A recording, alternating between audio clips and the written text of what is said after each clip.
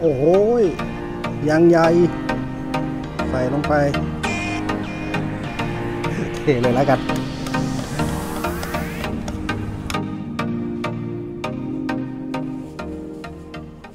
สวัสดีครับผมก็พบกันอีกแล้วนะครับสำหรับแดนแดกนะครับ คลิปนี้นะฮะผมจะพามาลองดูร้านลับร้านลับแล้วกัน เพราะว่าอยู่ในซอยกว่าจะมาถึงนี่ได้ก็ เออลำบากอยู่นิดนึงนะครับ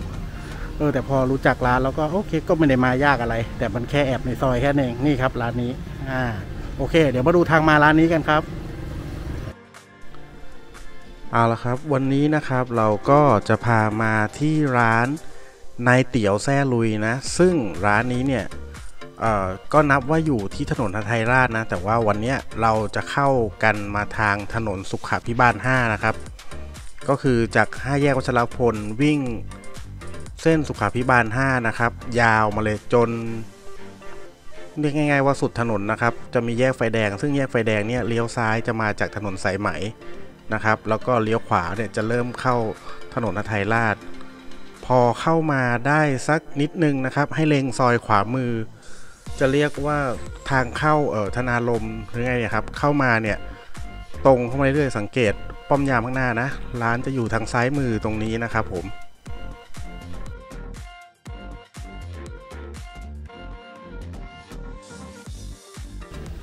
เป็นไงบ้างครับ ทางมาร้านก็ไม่ยากนะ แต่ว่าเออต้องรู้ก่อนเท่านั้นเอง โอเค เดี๋ยวเราเข้าไปดูในร้านกันนะ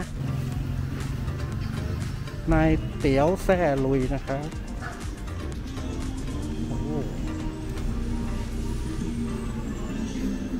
โอ้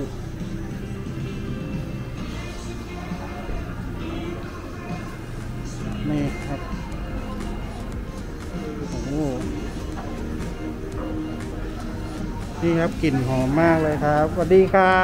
บครับผมโอ้ยน่ากินมากเลย ครับครับอ้อร้านนี้ก็บรรยากาศโล่งๆสบายๆนะครับโอ้เป็นเหมือนนั่งในบ้านนะโอเคอะเดี๋ยว หาที่นั่งเฮ้ยผมนั่งโต๊ะนี้ดีกว่า ดูแบบ สบายๆมากเลย อันนี้ก็เป็นเมนูของทางร้านนะครับ ก็จะเป็นเอ่ออันนี้เป็นชุดหม้อไฟนะ ชุดละ220 นะครับ โอ้แล้วก็จะมีเป็นแบบสั่งเพิ่มได้นะ เป็นอุ้ยมีเอ็นแก้วด้วยอืม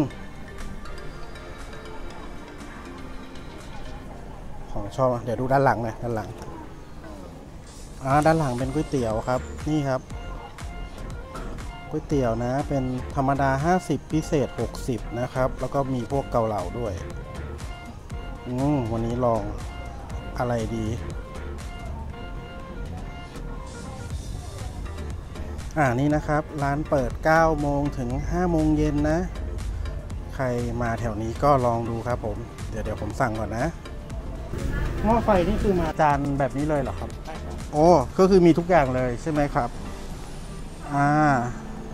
โอเค งั้นงั้นเป็นหม้อไฟครับผมแล้วก็ต้องอ่าทุกอย่างเลยครับ แล้วก็ตัวผมเอาเอาเส้นหมี่ลวกแล้วกันนะครับ ครับเอ๊ะหม้อไฟไม่ใส่ถั่วงอกนะครับ อ่าโอเค ครับ น้ำเอาเป็นโค้กครับผม ถ้าพูดถึงว่าอ่าขอบคุณมากครับ ถ้าพูดถึงว่าในในชุดหม้อไฟถ้าเป็น ถ้าเป็น 220 นะ ได้ทุกอย่างนี่ผมว่าก็โอเคนะ แต่เดี๋ยวเรามาดูปริมาณกันอีกทีหนึ่ง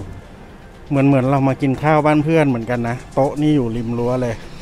แต่ว่าเขาก็มีร่มนะ ตรงนี้ก็เนี่ยดูดิมีต้นไม้นะครับ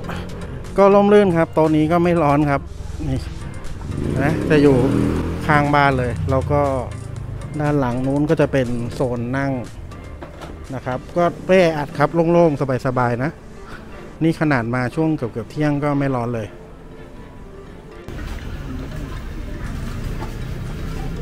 นี่มอเรามาแล้วปรุงน้ำจิ้มรอก่อนเลยแล้วกันพริกดองที่นี่หอมอยู่นะได้กลิ่นเลยเนี่ยอันนี้ก็ไม่มีสูตรตายตัวนะ ใครชอบแบบไหนก็ปรุงตามที่ชอบ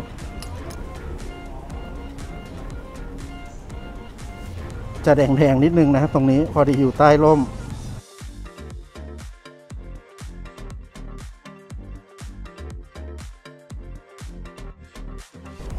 นี่ครับผมมาแล้วนะครับดูครับ อ่า เซตนี้นะครับ 220 นะ มี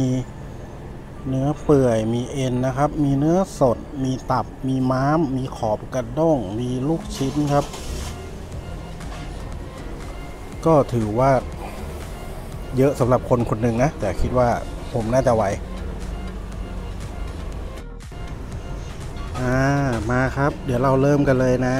นี่ลูกชิ้นครับ ลงไปเลย โอ้โหยนี่ครับ ชิ้นใหญ่มาก เนื้อเปื่อยโอ้โอ้โหยยังใหญ่ ใส่ลงไป โอ้ชิ้นนี้ชิ้นนี้ย่างใหญ่ครับ ดูนิ่มแล้วก็น่ากินมากดู อือหือ กินเลยได้ไหมเนี่ย เอ็นก็มาครับ ไส้อ่อนครับ ขอบกระด้ง เฮ้ยนี่ พอคีบออกมาชิ้นใหญ่ทุกอย่างเลยเนี่ย อ่าม้ามก็มาครับ นี่หนาเลยนะ เนื้อสดครับผม ส่งท้ายครับตับครับ ยังไม่ได้ใส่ผักเลย เอาผักด้วย นี่ครับ เส้นก็มาแล้วนะ ดูสิ อุ้ยลวกมาลวกมาดีนะเนี่ย ไม่ติดเป็นก้อนเลยครับ เยอะด้วยนะเนี่ยดูดูโอ้อันนี้เดี๋ยวน่าจะไม่ต้องลวกนะ ผมว่าน่าจะกินแยกได้เลย ใส่ครับใส่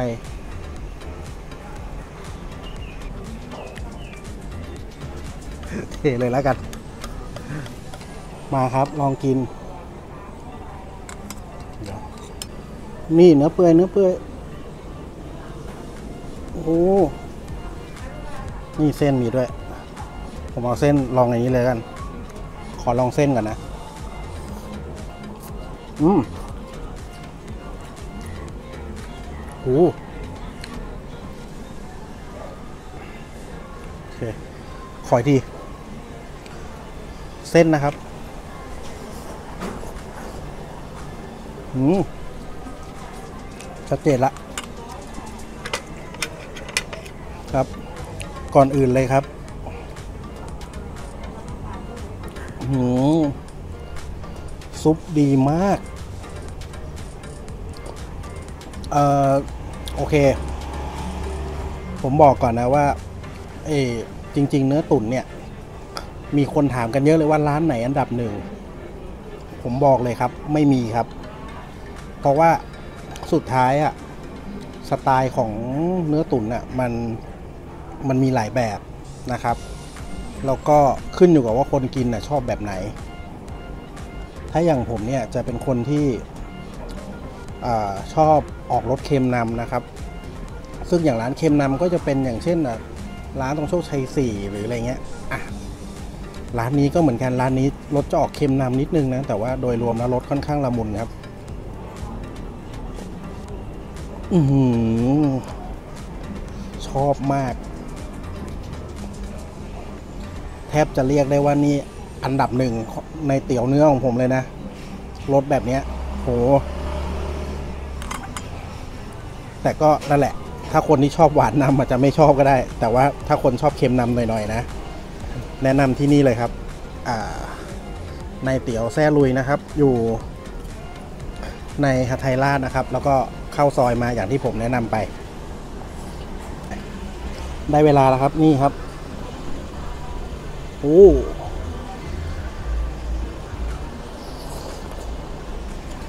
หืม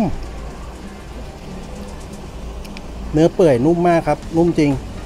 ชิ้นใหญ่ด้วย ผมจะเอาให้ดูไงเนี่ย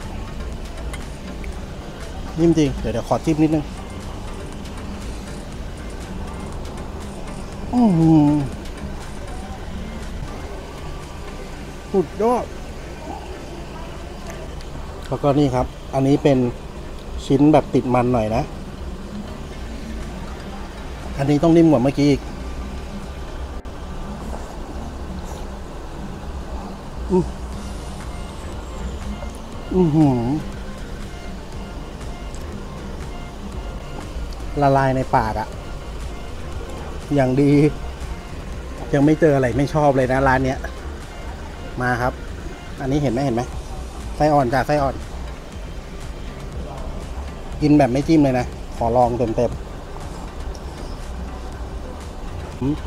มันมีความดึงดึงๆเคี้ยวกรุบกรุบๆอะไม่ถึงกับนิ่มนะแต่ว่ามันยังได้สู้ฟันได้นิดนึงอยู่อุ้ยชอบชอบชอบต่อไปครับ อันนี้เลยชิ้นปราบเซียน เอ็นแก้วจ้ะ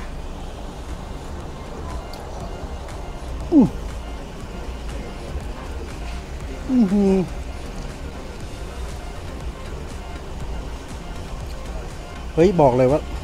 รี react ที่กินอะไรที่ไม่ได้เวอร์เลยนะ ของจริงล้วนๆ เฮ้ย เอาอีก นี่ครับ เนื้อสดเขาดีมากเลยนะ คือสำหรับถ้า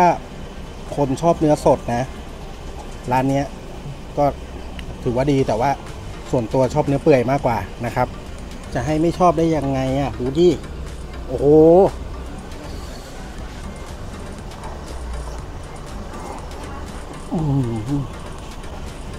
หมดนี่คิดว่าอิ่ม แต่เดี๋ยวอาจได้สั่งเนื้อเปื่อยเพิ่ม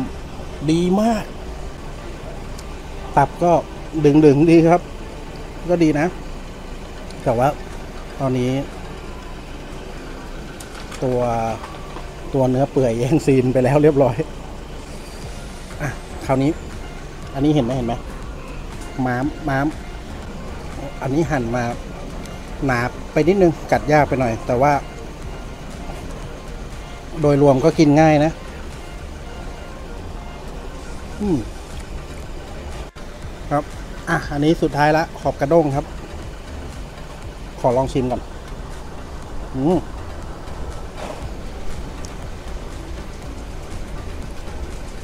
เฮ้ย นุ่ม อันนี้จิ้มมานิดนึง อืม นี่ขนาดว่า ต่อให้ผมชอบเนื้อเปื่อยที่นี่ที่สุดนะ แต่อย่างอื่นนี่คือแบบ โอ้พลาดไม่ได้เหมือนกันนะ ลืมผักได้ยังไงเนี่ย อะ มา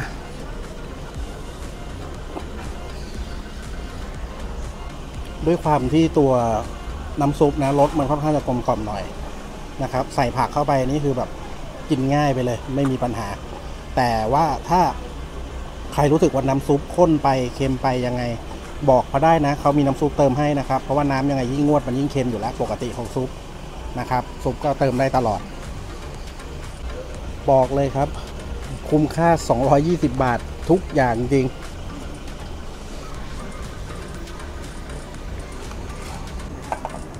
ขอบคุณครับโอ้ยอร่อยทุกอย่างเลยอะขอบคุณค่ะ ครับต้องครับ เอา เนื้อเปื่อยเพิ่มจานหนึ่งครับ เอาแบบติดมันได้หน่อยนะ ได้ครับผมขอบคุณครับ นี่ครับ มาแล้ว เอ๊ะ อันนี้เท่าไหร่นะเจ็ดสิบบาทครับเจ็ดสิบาท ย้ำอีกทีวันนี้อิ่มแล้วนะ แต่ว่าทนไม่ไหวจริง ๆ คือแบบ โอ้โห คืออโรมาดีมาก หอมจริง ๆ ครับ รสมันมาแบบทางที่ชอบเลย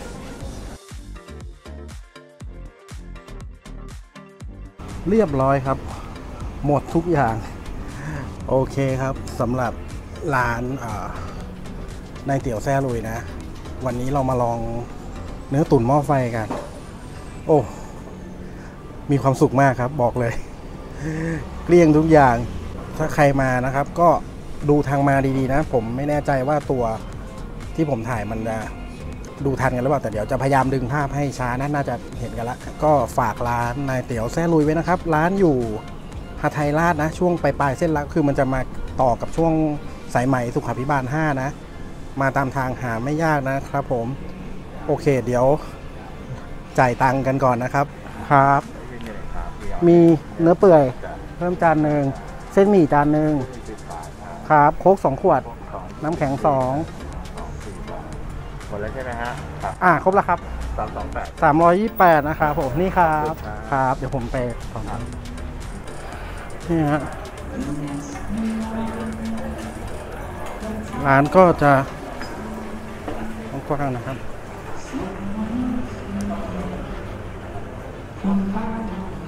ครับขอบคุณค่ะครับ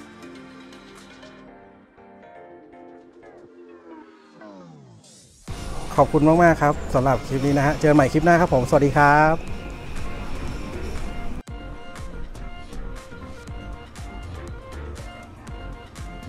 ถ้าชอบคลิปแนะนำเมนูจากแดนแดก ฝากกดไลค์ Subscribe ขอบคุณมาก ๆ นะครับ เจอกันคลิปหน้าครับผม